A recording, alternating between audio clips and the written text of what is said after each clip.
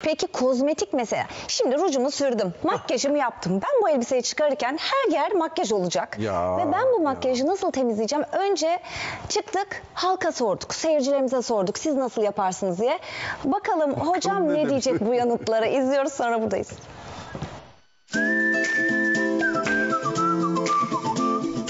Kozmetik ürünlerden kalan lekeleri nasıl çıkartıyorsun? Ya onlar da şey leke çıkarıcılar çünkü onun dışında ne denediysem çıkmadı ancak leke çıkarıcıyla çıkartabildim. talk pudrası, e, bez, üzerine ütü. E, sanırım herhalde öyle bir şeyler temizler diye düşünüyorum. Aa, ilk kez duydum iyi fikirde. İyi fikir mi? Pudra, Hayır, hayır. Üzerine ütü. Hayır o, o başka bir temizlikle karıştırıldı. Herkesin aslında aklında birkaç tane yöntemler var ama e, kozmetik lekeleri e, öyle çıkmaz. Çünkü hangi kozmetik olduğu çok önemlidir. Mesela en çok hanımların kullandığı şey rimeldir başta. Rimel.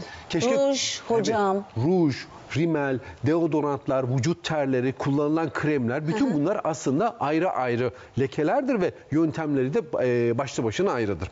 O, o bakımdan e, önce ayırt etmek lazım. Bir kere oje. Kullanırken ay, değil mi böyle elbise yaparken bunlar damlayı veriyorlar. Tabii. Yöntemi basittir. Nasıl bunu asetonla çıkartırsak oje özel bir kozmetik değildir. Bu ojeler falan bildiğiniz yağlı boyadır. Yani evinizi boyadığınız bo- boyalardan çok fazla da bir farkı yoktur. Böyle dermatolojik falan ürünler değildir. Özellikle yeri gelmişken söyleyeyim. Küçük çocuklarınıza efendim onlar seviyor, istiyor, özeniyor diye oje sürmek gerçekten çok çok sakıncalıdır. Tüm kozmetikler gibi e, ojeler de çocuklar için sakıncalıdır. Onu neyle temizliyoruz? Kumaşı küçük bir yerinde test etmek kaydıyla asetonla temizliyoruz. Bir pamuğu aseton yapıp küçük küçük dokundurarak Hocam denesek mi? Yapalım tabii olur. Ama e, bir şey- hangi kimin acaba kıyafetinde denesek?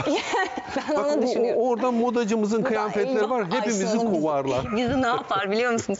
Vallahi yani bir kıyafet bulursak bir kumaş parçası da olabilir. Deneyelim bunu ya canlı Evet. yayında. Şimdi Evet. e, asetonla zaten Asetonla. söktüğü için ama dikkat etmek lazım. Aseton boya sökücü olduğu için özellikle renkli kıymetli giysilerde ilk önce küçük küçük test etmek lazım. Çok da boca etmemek lazım çünkü onun rengini alır. Yayılmaz değil mi hocam? İşte o e, bakın bizde en büyük yapılan hatalardan bir tanesi şudur.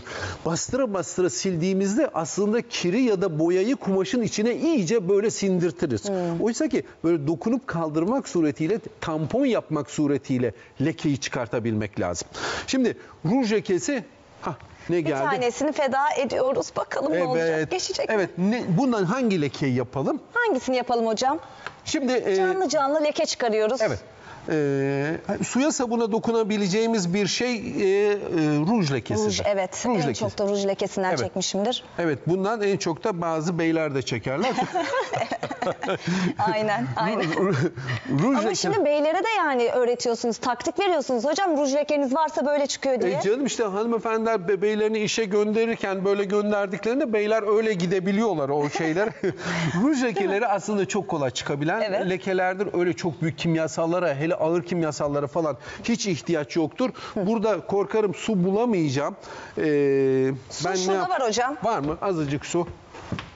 Hadi gel. Şu çiçekle yapacağımız leğenin içerisinde de bunu Evet. çıkartabiliriz. İşte Ruj e, lekesi ruj nasıl lekesi çıkar? işte bir şekilde ruj lekesi oldu. Aynen. Yani bu kadar olmuyor ama ruj lekesi demişken siz ne kadar ruj yiyorsun e, ömründe biliyor musun? Ne kadar hocam? Her gün Ya. sürüyorum. Ortalama e, her gün sürenler için hayatın boyunca 5 kilogram ruju yiyorsun. 5 kilo. Evet. Onu sürüyorsunuz böyle yalanıyorsunuz. Ya da Eyvah. aman makyajımı tazeleyeyim bir daha bir daha. Totalde 5 kilo ruju yiyor hanımlar biliyor musun? Peki o bize nasıl bir zarar olarak dönüyor acaba? e, tabii çok faydalı bir şey değil. Vitaminli olmadığı kesin. Şimdi hemen az, azıcık suyla e, ıslatıyoruz. su, evet. ıslattık. Şimdi ısladık. Suyla bunun yayılmasını sağlarken burada hemen elimizin altında sabun var. Sabun. Çünkü zannedildiği gibi lekeler için illa büyük ağır deterjanlara ihtiyacı var. Su ve sabun bir sürü lekeyi erken müdahale edilmesi halinde çok kolaylıkla e, halledebiliyor. Daha fazla leke olan yerlerde e, sabunu sürüp bir süre lekenin e, iyice gevşetmesini sağlarsak zaten bunu da büyük bir kolaylıkla yapabiliriz. Şimdi azıcık daha ben su rica Vereyim edeyim. hocam. Evet. Siz de en zor zorun e, şey ruju mu seçmişsiniz? Evet bence de bir de çok sürdük. Çünkü ruj böyle ruj böyle sürülmüyor. Evet. çünkü genelde dudaktan e, dudak izi şeklinde olduğu için o kadar da gitmiyor ama bak hemen zaten Hemen yayılma bak. evet, Su, aynen. suyu da azıcık daha dökersek. Çünkü leke demek aslında bu kumaşın dokularının arasına giren boya, yağ, herhangi bir istenmeyen kirlere biz leke diyoruz. Bazen yemek lekesi olabiliyor, bazen yağ lekesi olabiliyor. İşte o bakımdan bu dokuların arasından bunu çıkartabilecek yumuşatıcı şeylere ihtiyacımız var. O da en iyi bu işi yapan şeyler de su ve sabundur. Çok eski lekeler olduğu zaman da suyu ve sabunu e, bir süre üzerinde tuttuğumuzda daha da başarılı olur. Bak hemen Evet, geçti zaten- bile hocam. Evet geçti bile gördüğün gibi. Evet hemen ruju bunu bakın. yapıp canlı sıktığımızda da gidiyor. Hiç Sadece kimse su ve unutmasın sabun. ki su ve sabun ve güneş. Güneş aynı zamanda çok iyi bir leke gidericidir ve kumaşları ve beyazları daha da beyaz yapan bir şeydir. O yüzden beyazları mutlaka güneşte kurutun diyoruz. Renklileri ve siyahları da gölgede kurutmak lazım. Güzel bir bilgimizi de verdikten sonra ben de Evet. sevgili seyircilerimize bir hatırlatmada bulunayım. İlerleyen dakikalarda Profesör Doktor e, Doğan Cüceloğlu bizlerle beraber olacak. Sorularınızla da katılabileceksiniz.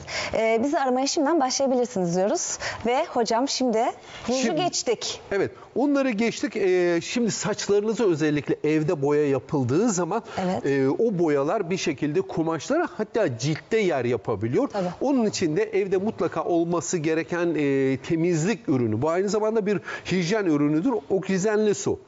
Yani hidrojen peroksit bu özellikle e, ciltte olan boyaları ve e, beyazlarda olan lekeleri e, oksijenli suyla kolaylıkla çıkartabilirsiniz. Onu ne yapacağız? Bunu bir bezi ıslatıp Evet. bununla sileceksiniz. Yine Bütün- aynı şekilde. Yine aynı şekilde. Yani e, günlük hayatımızda mümkün olduğu kadar az kozmetik kullanmak ya da o kozmetikleri e, evimize geldiğimiz zaman bir an önce çıkartmakta fayda var. Demin dedim ya rimel lekeleri. Evet, evet. Bakın rimelin içerisinde arsenik vardır.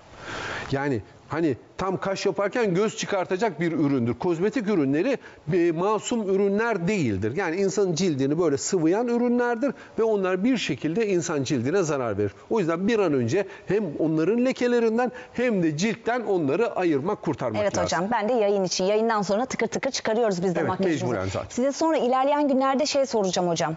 Ee, yani bu makyaj mesela çıkarmaya çalışıyoruz, zorluyoruz. Nasıl kolay çıkar? O aklımda da sürekli. Acaba kolay bir yöntem varsa küçük bir alalım mı? Şimdi birkaç tane yöntemi birden var. Özellikle e, her biri ayrıdır. Pudralar ayrıdır, rimel ayrıdır, rujlar ayrıdır. O bakım- Fondöten. Fondötenler evet. Fondöten nasıl kolay çıkar hocam? Şimdi e, mümkün olduğu kadar fiziksel olarak çıkartmaya çalışmak iyidir. Çünkü bir şeyi çıkartırken çok farklı kimyasallar kullanılırsa iyi değildir. Bu konudaki en başarılı ve en e, masum ürün gül suyudur. Gül suyu. Gül suyunu mutlaka evinizde bırakıp bir pamuğu gül suyuyla batırıp cildinizi sildiğinizde gerçekten o gül suyunun bütün ferahlığıyla beraber yapışmış olan o e, kozmetikleri de cildinizden mutlaka çıkartın. Peki teşekkür ediyoruz hocam. Rica ederim. Bu arada anahtar harflerimizi vermeye devam ediyoruz. Anahtar harflerden sonra ne ortaya çıkıyor? Anahtar kelimemiz. Bakalım bugün önlüğümüzü, mutfak önlüğümüzü hangi şanslı izleyicimiz kazanacak? TRT1 ekranlarında programın ilerleyen dakikalarında bir telefon bağlantısıyla belli edecek e, seyircimiz. Bakalım kim olacak? Pek güzel Çok bir da soru. şık değil mi hocam? Evet, evet. Önünü bulamadım bir türlü ama gayet güzel gördüğünüz gibi renkli renkli.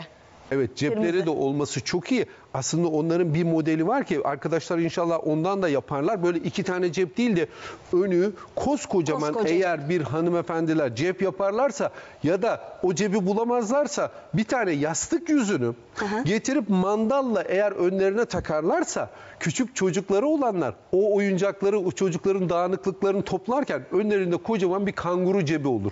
O da onları da ev temizliğinde hayatı çok kolaylaştırır. Süpersiniz hocam ya. Her sözü bilgi vallahi. Ee, şimdi gene Filiz Hanım'ın evine mi gitmiştik Evet, hocam? evet. Ne yaptık ikinci